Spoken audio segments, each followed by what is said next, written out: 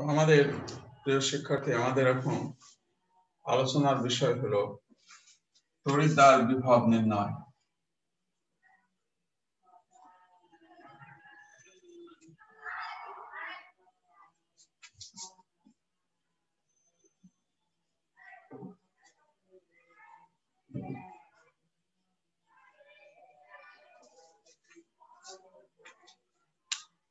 আমরা কীভাবে তড়িৎদ্বার বিভব নির্ণয় করব? এই বিষয়টা নিয়ে এখন আমাদের আলোচনার বিষয়।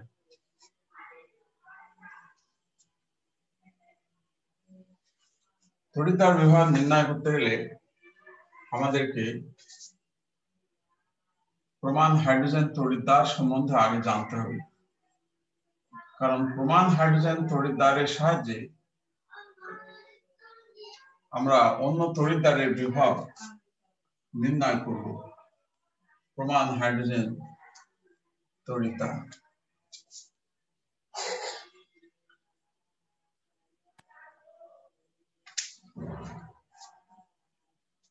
যেমন দেখো, কোন পরমাণুর ভর, পারমাণবিক ভর নির্ণয় করতে গেলে আমরা হাইড্রোজেনকে প্রমাণ ধরে হাইড্রোজেনের ভরকে ওয়ান ধরি।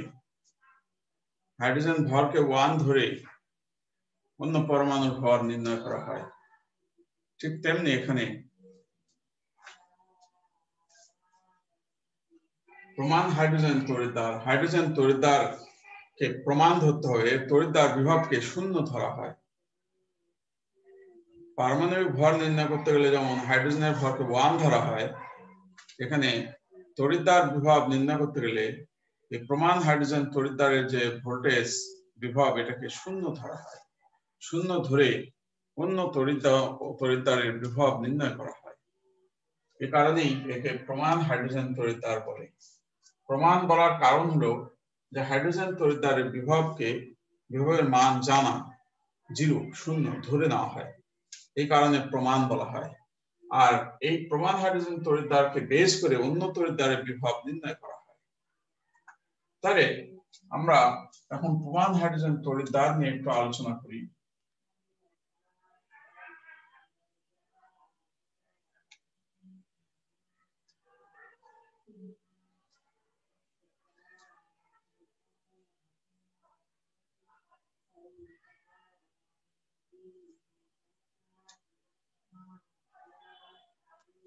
এটা হলো একটা প্লাটিনাম মেটাল এই প্লাটিনাম মেটালের সঙ্গে এখানে কাঁচের টিউব থাকে।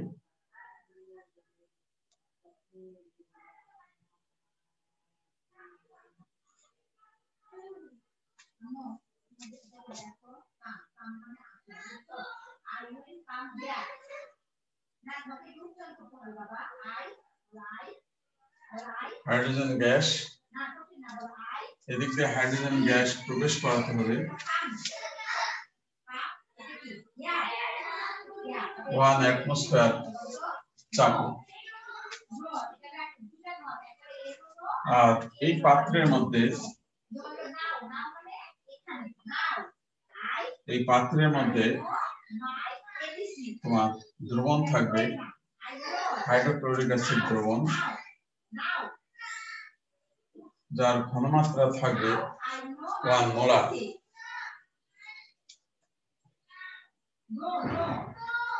এটা হলো কপার তার দেওয়া, এটা কপার তার। এই পুরো এই এই যে তড়িৎ দাগটা আমরা আঁকলাম, এই তড়িৎ দাগটাকে বলা হয় প্রমাণ হাইড্রোজেন তড়িৎ এর ভোল্টেজ এর ভোল্টেজ ধরা হয়, এই হাইড্রোজেন ভোল্টেজ ধরে নেওয়া হয় zero point zero zero volt, এটা ধরা হয়।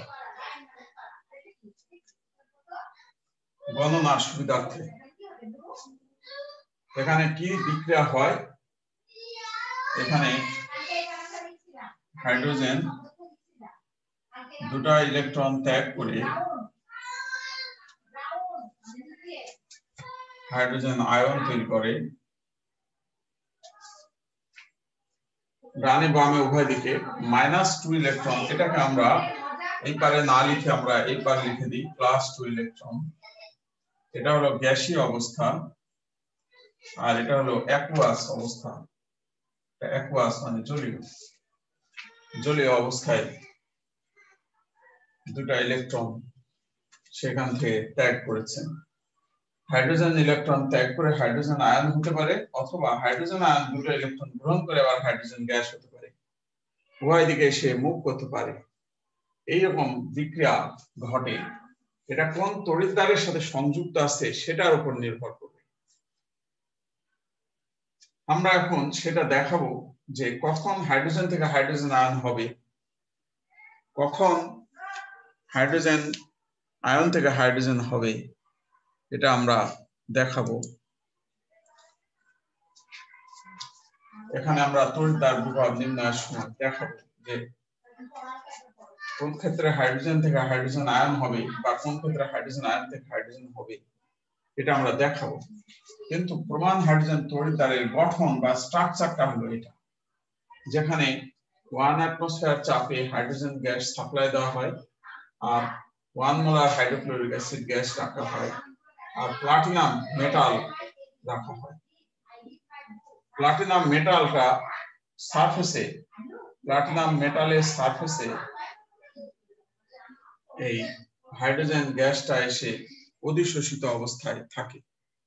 হ্যাঁ আমরা যেমন জিঙ্ক আমরা যেমন জিঙ্ক তরিদ্দারকে জিঙ্ক তরিদ্দারকে এভাবে দাঁড় করায় রাখা হয়েছে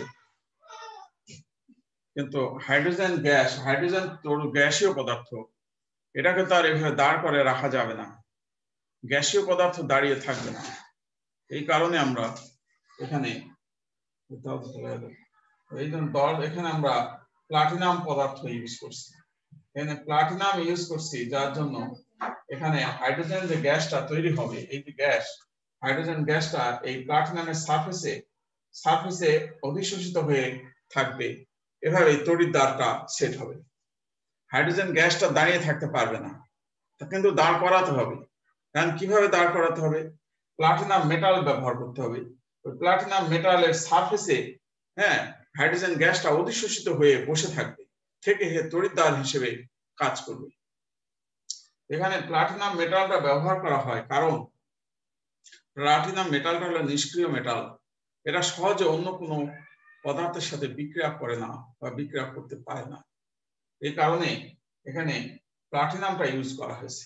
আমি যদি অন্য মেটাল ইউজ করতাম, তাহলে এই যে হাইড্রোজেন এর সঙ্গে যদি বিক্রিয়া করতো, বিক্রিয়া করলে তো আর একটা ভোল্টেজ তৈরি হবে। তো নতুন আর একটা এক ভোল্টেজ মাপতে যে আর এক ভোল্টেজ তৈরি হলে তো ভোল্টেজ আমরা অ্যাকুরেট পাবো না, সঠিক পাবো না। এই কারণে এখানে একটা নিষ্ক্রিয় ধাতু নিতে হবে, যে ধাতুটা কারোর সাথে বিক্রিয়া করবে না। এই কারণে আমরা এখানে প্লাটিনাম মেটালটা ইউজ করছি। এখন আমরা প্রমাণ হাইড্রোজেন তড়িৎদ্বারের গঠন সম্বন্ধে আমরা জানলাম। এখন আমরা তড়িৎদ্বার বিভব কীভাবে তড়িৎদ্বারের অজানা বিভব কীভাবে নির্ণয় করা হয়, এই বিষয়টা আমরা দেখব। আমরা এটা তাহলে মুছে দিলাম আপাতত।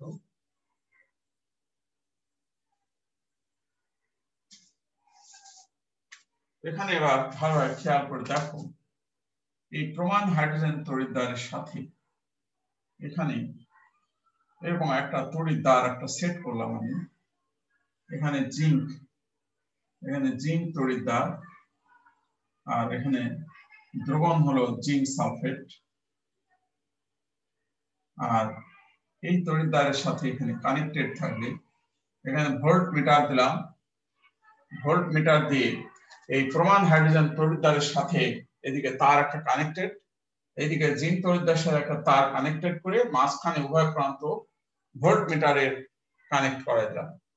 ভোল্ট মিটারে আমরা কি পাবো? ভোল্টেজ পাবো। এই পুরা যে কোষটা বিক্রিয়া হবে, জারণ বিজারণ বিক্রিয়া হবে, এখানে একটা ভোল্টেজ তৈরি হবে। কারণ ইলেকট্রনের আদান প্রদানের ফলে কারেন্ট তৈরি হবে, যার ফলে ভোল্টেজ তৈরি সে ভোল্টটা কত? সেটা আমরা এখানে পাবো। পুরা কোষের ভোল্টেজটা এই জায়গায় আমরা দেখতে পাবো। এটা হলো হাইড্রোজেন গ্যাস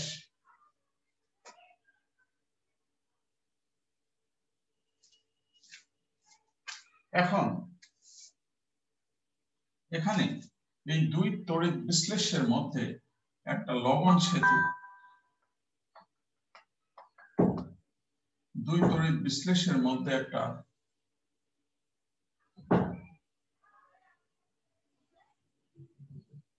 এরকমের একটা লবণ সেতু আমাকে দিয়ে দিলাম, যেটা একটু আগে দেখলাম আমরা, যে লবণ সেতু ছাড়া বিদ্যুৎ প্রবাহ অব্যাহত থাকবে না।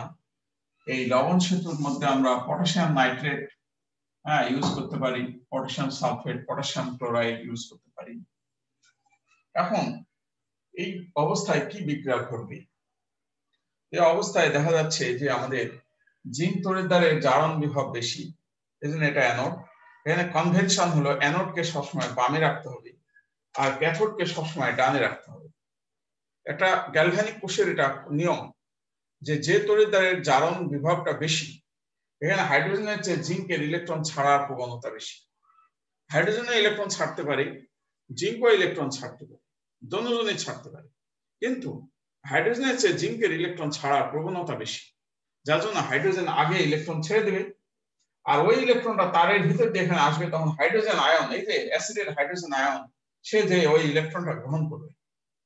দ্যাট মিনস এখানে জারণ হবে, এখানে বিজারণ হবে। এখন রিয়াকশনটা তাহলে আমাদের কি হচ্ছে?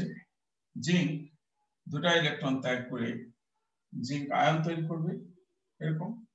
আর এই দুটা ইলেকট্রন গ্রহণ করবে কি? হাইড্রোজেন আয়ন এই যে অ্যাসিডের হাইড্রোজেন আয়ন সে এই দুটা ইলেকট্রন গ্রহণ করবে, করে হাইড্রোজেন গ্যাস তৈরি করবে। হ্যাঁ? এখানে হলো তোমার এটা জারণ বিক্রিয়া, এটা জারণ আর এটা হলো বিজারণ।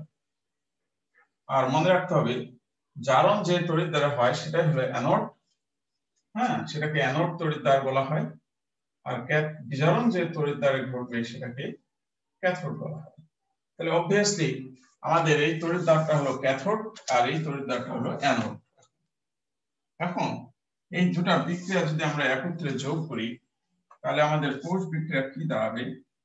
জিঙ্ক প্লাস দুটা হাইড্রোজেন আয়ন রিয়াকশন করে zinc ion plus hydrogen gas.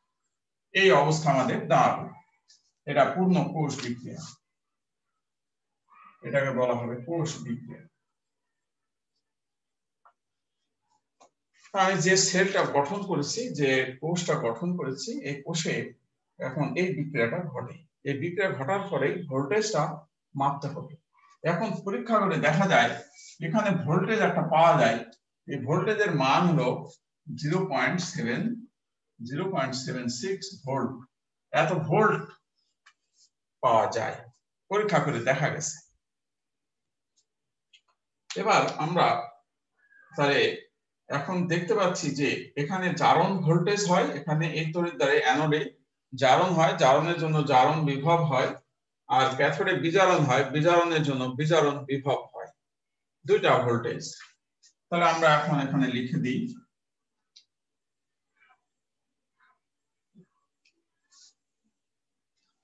এখানে আমরা এখন লিখে দিই। ই সেল সেল মানে পুরা সেল মানে পুরা কোষের বিভব। ইকুয়াল টু জারণ বিভব জারণ বিভব প্লাস ই বিজারণ বিভব। তাহলে জারণ বিভব এবং বিজারণ বিভবের যোগফলটা হলো এই পুরা কোষের বিভব, পুরা কোষের বিভব। এখন জারণ বিভাবে কি হয়েছে? জারণ বিভবে দেখা কি হলো? জিঙ্ক থেকে জিঙ্ক আয়ন হচ্ছে। তাহলে আমরা লিখব এখানে জিঙ্ক থেকে জিঙ্ক আয়ন হয়েছে প্লাস প্লাস বিজারণ বিভাবে কি হয়েছে? হাইড্রোজেন হাইড্রোজেন আয়ন থেকে হাইড্রোজেন গ্যাস এটা হয়েছে।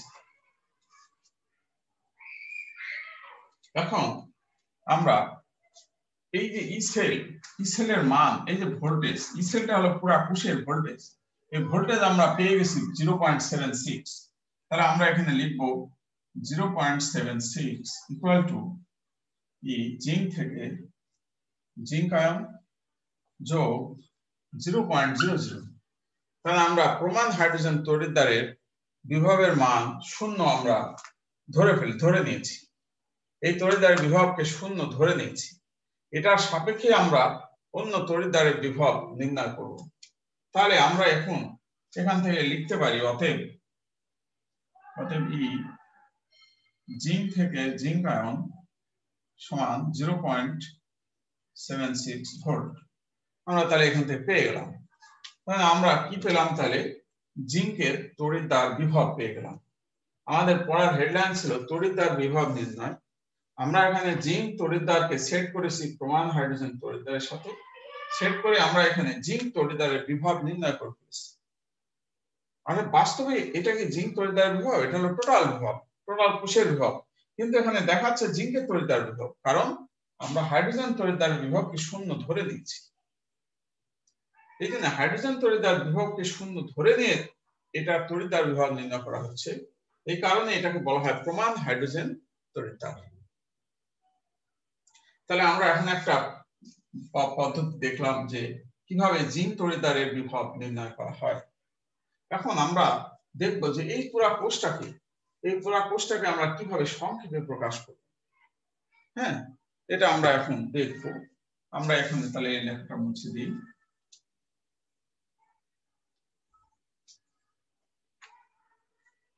ভালোভাবে দেখো এখানে।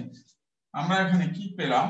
আমাদের সংক্ষিপ্ত প্রকাশ করার নিয়মই আমি একটু আগে শিখে দিলাম যে প্রথমে জারণ তরিদ্দার আগে লিখতে হবে, তারপরে বিজারণ তরিদ্দার পরে লিখতে হবে। তো জারণ বিক্রিয়া এখানে কি হয়েছে? জিঙ্ক ছিল। জিঙ্কটা কি? সলিড তারপরে অবলিক কি হয়েছে? জিঙ্ক আয়ন হয়েছে। জিঙ্ক থেকে জিঙ্ক আয়ন হয়েছে, এটা অ্যাকুয়াস মিডিয়া তরল। তারপরে একটা টান দিতে হবে। একটা টান হলো এই কানেকশনের জন্য। তারপরে আর একটা টান দিতে হবে, যেটা লবণ সেতুর কানেকশনের জন্য। তারপরে দিতে হবে বিজারণ বিক্রিয়া। বিজারণ বিক্রিয়ায় hydrogen ion aqueous media aqueous মিডিয়ার সাথে বিক্রিয়া করে হাইড্রোজেন গ্যাস তৈরি হবে। হ্যাঁ? এখন হাইড্রোজেন গ্যাসটা তো একটু আগে বললাম হাইড্রোজেন গ্যাসটা তো এইভাবে দাঁড়িয়ে থাকতে পারবে না। এটাকে প্লাটিনাম সারফেসে একটু অধিশোষিত হয়ে থাকতে হবে। সেই কারণে একটা প্লাটিনাম ব্যবহার করা হয় কমা প্লাটিনাম এটা। হ্যাঁ এখানে এখানে একটু লিখে দিতে হবে, হাইড্রোজেন গ্যাস দিয়ে কমা প্লাটিনাম সলিড এই এই ফেজগুলো উল্লেখ করতে হবে। তাহলে এইভাবে, এই যে পুরো কোষটা আমরা লিখেছি এখানে, এই পুরো কোষটাকে সংক্ষেপে প্রকাশ করা হয় এইভাবে। কোষ সংক্ষেপে প্রকাশ করা পদ্ধতি আমাদেরকে এটা জানতে হবে। যখনই ধরুন হাইড্রোজেন গ্যাস আসবে, তখনই কমা প্লাটিনাম দিতে হবে। প্লাটিনাম প্লাটিনামের সারফেসে ওই গ্যাসটা শোষিত হয়ে থাকবে থেকে বিক্রিয়া করবে। এই হলো প্রক্রিয়া।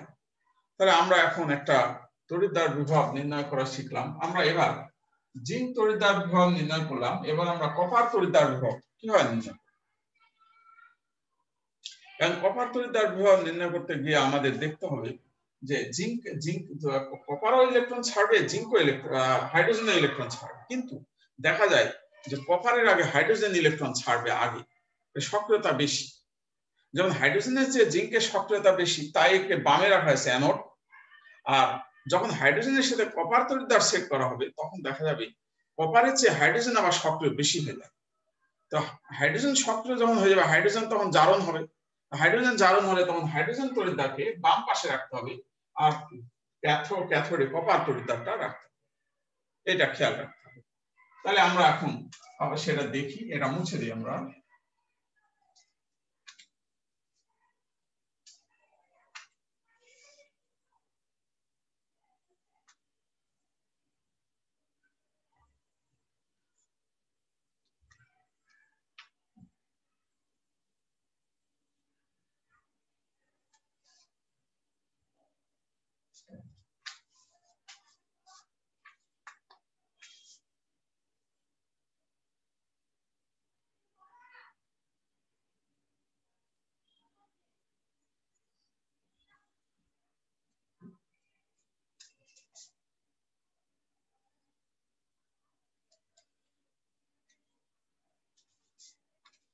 এখানে আমরা এবার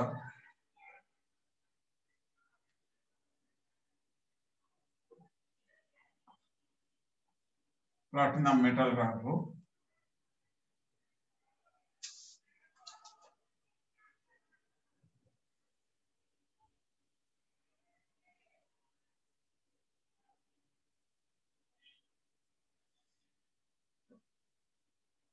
এদিক দিয়ে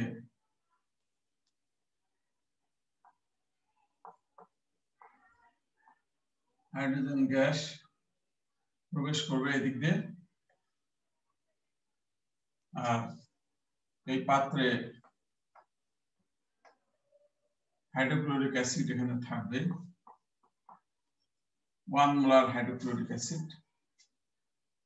এটা হলো প্রমাণ হাইড্রোজেন তরিদার আর এই পাত্রে এবার তোমার কপার তরিদার থাকবে এখানে। এটা হলো কপার তরিদার আর এই দ্রবণে এখানে কপার সালফেট দ্রবণ থাকবে। আর এই তরিদারের সাথে এখানে ভোল্ট মিটার কানেক্ট থাকবে, আর এখানে কপার তরিদার সেট থাকবে এই জায়গায়। আর এখানে কপার সালফেট দ্রবণ থাকবে। এই দুই দ্রবণের মাঝে লবণ সেতু থাকবে। লবণ সেতু থাকবে। এই লবণ সেতুর মধ্যে পটাশিয়াম নাইট্রেট থাকবে।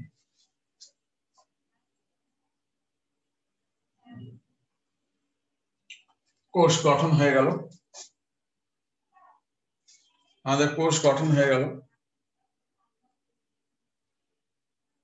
এখন এখানে দেখো কি বিক্রিয়া হবে এবার। যেহেতু এটা বাম সাইডে এটা অ্যানোড এটা জারণ বিভব হবে, এটা বিজারণ কপারের চেয়ে হাইড্রোজেনের ইলেকট্রন ছাড়ার প্রবণতা বেশি। এখন, এখানে হাইড্রোজেন গ্যাস দুটা ইলেকট্রন ত্যাগ করবে, করে হাইড্রোজেন আয়ন তৈরি করবে দুটো। এটা হলো জারণ বিক্রিয়া। জারণ মানে অ্যানোড যেখানে জারণ ঘটবে সেটাই হলো অ্যানোড এটা মাথায় রাখতে হবে। আর অটোমেটিক্যালি এই ইলেকট্রনটা এই তারের ভিতর দিয়ে যখন এখানে আসবে, তখন এই কপার আয়ন কপার আয়ন তখন দুটো ইলেকট্রন গ্রহণ করে কপার মেটাল তৈরি করবে। এটা হলো বিজারণ, এটা হলো ক্যাথোড এটা হলো ক্যাথোড তাহলে ওভারঅল পূর্ণ বিক্রিয়াটা কি হবে? পূর্ণ কোষ বিক্রিয়া হবে হাইড্রোজেন প্লাস হাইড্রোজেনটা কি ফর্মে থাকবে? গ্যাসীয় ফর্মে প্লাস কপার আয়ন এটা অ্যাকোয়াস ফর্মে থাকবে। জলীয় দ্রবণে বিক্রিয়া করে তোমার কপার সলিড তৈরি হবে। তার সঙ্গে যেটা হাইড্রোজেন আয়ন তৈরি হবে অ্যাকোয়াস এই বিক্রিয়াটা চলতে থাকবে।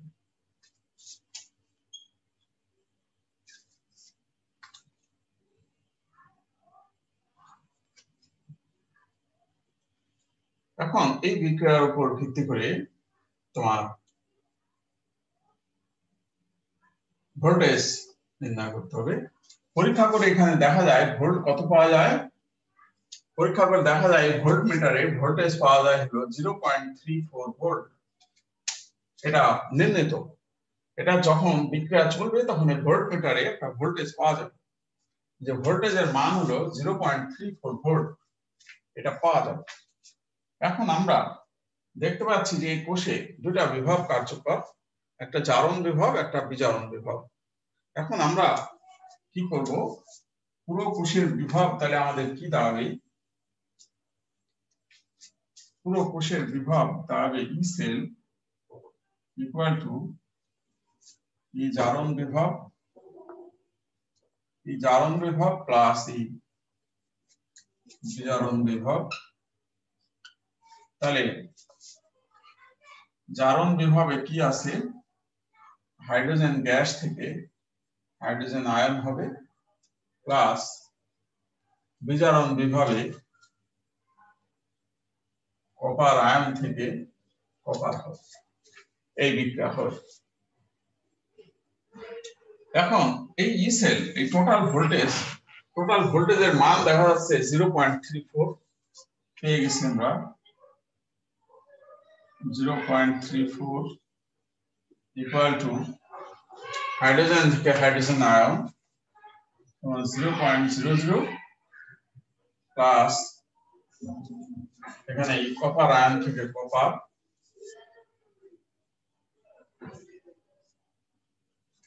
কপার আয়ন থেকে কপার তাহলে অতএব এই কপার আয়ন থেকে কপার সমান জিরো পয়েন্ট আমরা পেয়ে গেলাম। তাহলে আগে বেরিয়েছিল জিঙ্কের জারণ বিভাগ, এখন বেরোলো কপারের বিজারণ বিভাগ। যেহেতু এটা কপার আয়ন থেকে কপার, এ কারণে এটা বিজারণ বিভাগ। তো কপার আয়ন থেকে কপার যদি বিজারণ বিভাগ এটা হয়, তাহলে জারণ বিভাগ কি হবে? কপার আয়ন থেকে কপার কপার থেকে copper ion minus zero point three four. জারণ বিভাগ এবং বিজারণ বিভাগ লেখার নিয়ম এটা।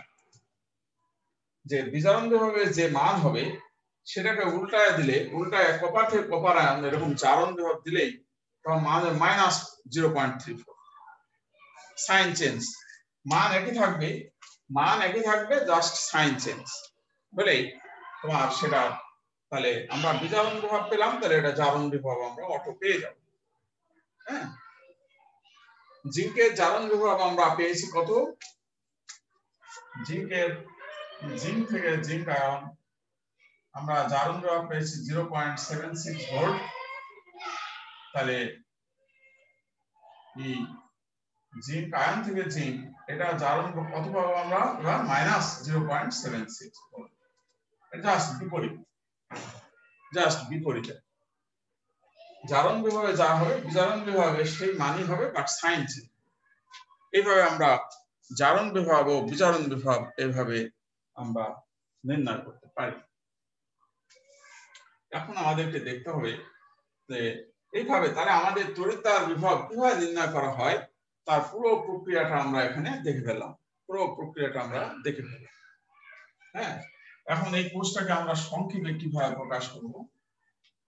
এই কোর্সকে সংক্ষেপে প্রকাশ করার উপায়টা কি তাহলে আমাদের? এই পুরো কোর্সটাকে আমরা সংক্ষেপে প্রকাশ করব হলো দেখো, প্রথমে হাইড্রোজেন গ্যাস।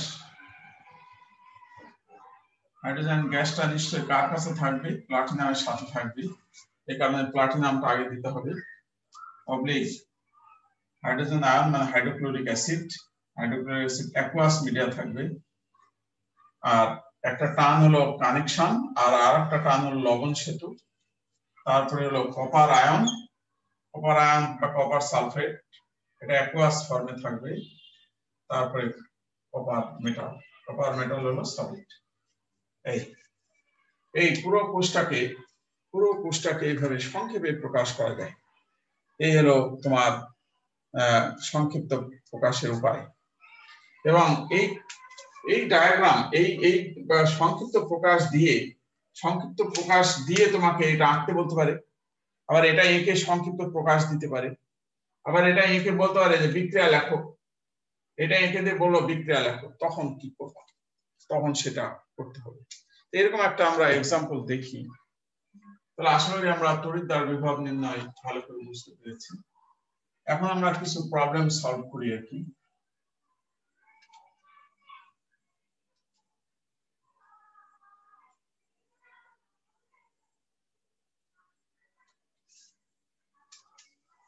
ধরা যাক একটা প্রবলেম এরকম দিল। নিকেল পাবলিক নিকেল সালফেট এটা অ্যাকোয়াস মিডিয়া এটা সলিড নিকেলটা সলিড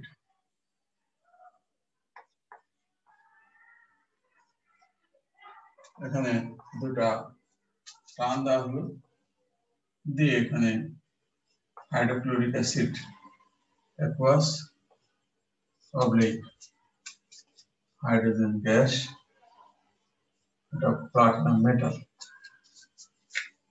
এভাবে দাও। দিয়ে বলো যে এখানে কোষ ডায়াগ্রাম অঙ্কন করো। কোষ অঙ্কন করো এবং কোষ বিক্রিয়া দেখাও। বলো কোষ কোষ অঙ্কন করো এবং কোষ বিক্রিয়া দেখাও। এটা বলল এখন আমাকে কোষ আগে অঙ্কন করতে হবে। তো কোষ অঙ্কন করলে আগে প্রথমে এরকম একটা পাত্র নিতে হবে ফার্স্ট এই পাত্রে এখানে কি হবে? একটা নিকেল তড়িদার নিতে হবে। একটা নিকেল তড়িদার আর অবশ্যই এর মধ্যে নিকেল সালফেট দ্রবণ নিয়ে নিলাম। এখানে আর একটা পাত্র এটা হলো তোমার প্রমাণ হাইড্রোজেন তরিদ্দার এরকম থাকবে।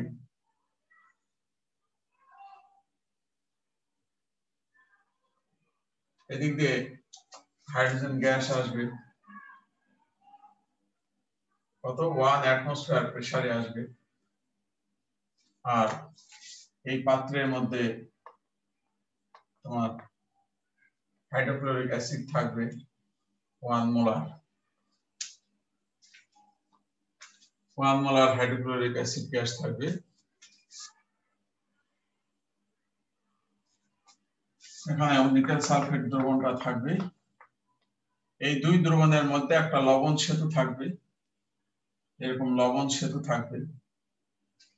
আর এই তার সাথে কানেক্টেড থাকবে কি ভোল্ট মিটার তাই না? লাইনটা আমরা এর সাথে এরকম ভোল্ট মিটার থাকবে, এরকম কানেক্টেড থাকবে। এটা হলো লবণ সেতু, ভালোভাবে একটু সুন্দর করে। এরকম। এই লবণ সেতু। এই হয়ে গেল আমার মানে কোষ। কোষ অঙ্কন হয়ে গেল। কোষ অঙ্কনের পরে এবার বিক্রিয়া। এবার বিক্রিয়া দেখাতে হবে। বিক্রিয়া হলো কি? একটা হলো জারণ বিক্রিয়া প্রথমে। নিকেল নিকেল কি করবে? দুটা ইলেকট্রন ত্যাগ করবে। করে নিকেল আয়ন তৈরি করবে। নিকেল আয়ন তৈরি করবে। তারপরে তোমার এটা হলো জারণ। এটা অ্যানোড জারণ সবসময় অ্যানোড হবে। আর হাইড্রোজেন আয়ন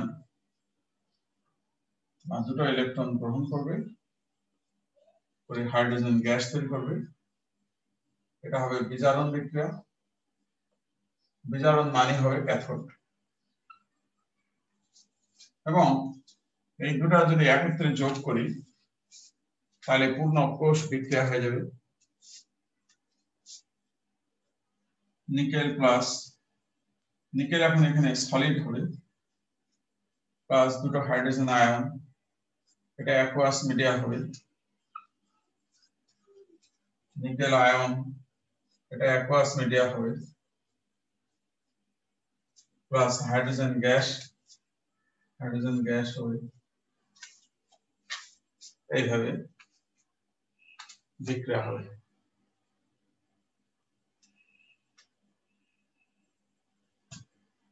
তো এই হলো বিক্রিয়া এরকম দেওয়া থাকলে এইভাবে কাজ করতে হবে। এরকম এক্সারসাইজ পরীক্ষায় থাকে। আমি একটা এক্সারসাইজ দিচ্ছি, তুমি বাসায় হোমওয়ার্ক করবে, করে আমাকে সেন্ড করবে আর কি।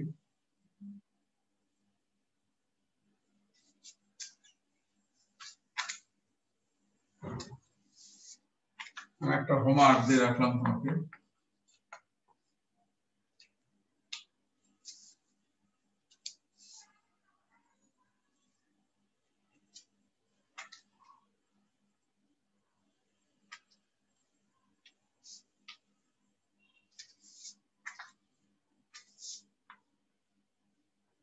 platinum, hydrogen gas, oblique hydrogen ion, aqueous, from the silver ion, oblique silver. Silver আয়নটা aqueous ফর্মে থাকবে অবলিক সিলভার সিলভারটা সলিড ফর্মে থাকে।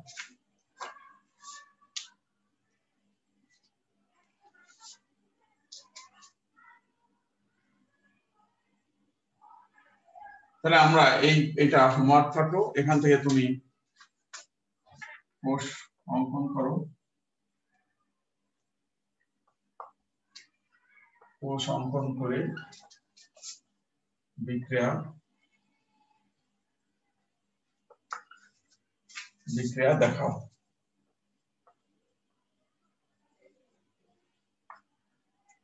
এটা আমাদের homework photo number one homework Number two homework. Magnesium solid থেকে magnesium ion aqueous form hydrogen ion aqueous form থেকে hydrogen gas comma platinum platinumটা solid platinum solid platinum solid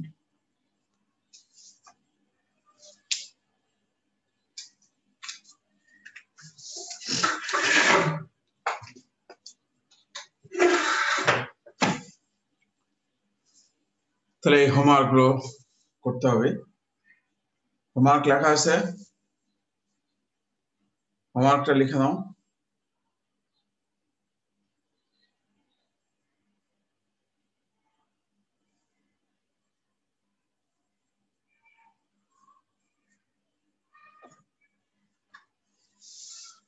আশা করি হোমওয়ার্ক লেখা হয়েছে। তো প্রিয় শিক্ষার্থী, আমরা তাহলে আজকে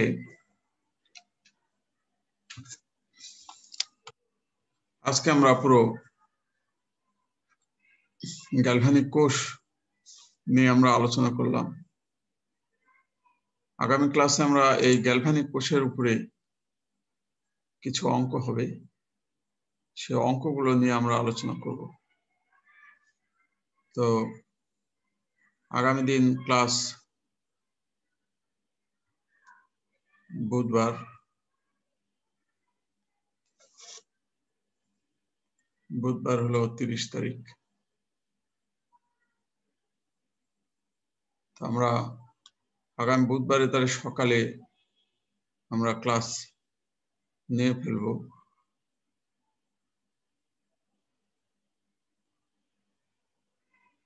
তো আজকে এ পর্যন্তই রাখি। السلام عليكم.